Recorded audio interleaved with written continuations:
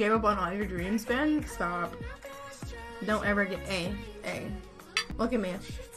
Make eye contact with me, okay? Don't ever give up on your dreams. If it's something that keeps you up at night, if it's something that you can't stop thinking about, if it scares you to death, that's what you're supposed to be doing. If your dreams don't scare you, you're not dreaming big enough.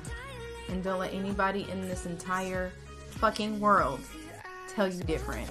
Stay in tune with your star player. It's like I told Justin yesterday. You gotta stay in tune with your star player, alright? Every fucking day. It takes effort every fucking day. I have to learn this too.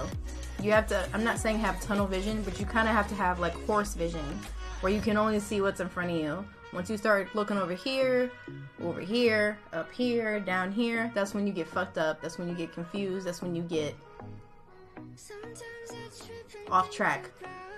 You gotta stay on track. Whatever keeps you motivated, whatever you dream about, whatever itches at you every day, that's what you need to be doing.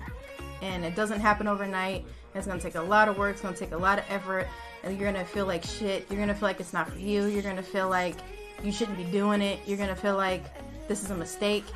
But if you keep pushing through that, you can achieve great things.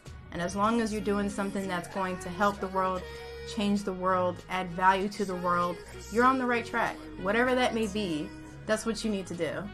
Period, point blank. It's okay to take a break from it and step back from it for a second. That's fine. But don't give up because you only have one life. And this life is so fickle. This life can be very, very short and it can be very, very long. But if you love it and you care about it enough, don't give up on it. I'm so serious. People, you know how many people die with regret of not following their dreams? Don't be one of them people, man. Just don't do it.